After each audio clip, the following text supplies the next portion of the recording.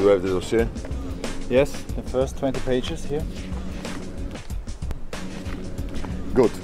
That what we are looking for to put this fucking bastard in the prison for the rest of his life. So is the FBI ready to pay $5 million for this dossier? We have to be sure you have uh, the rest of the dossier. And I have to be sure that the FBI pay what they promised to me. First you bring me 1 million and I will show you the whole dossier. I have been very lucky. After a few hours I was outside his girlfriend's house, I saw Hans leaving. I followed him, and here I am, listening what he's talking with Mark. Okay, in 12 hours, I will have the first million dollar here. Good. Now that we are in business together, I will send you some ghosts to make you feel less lonely.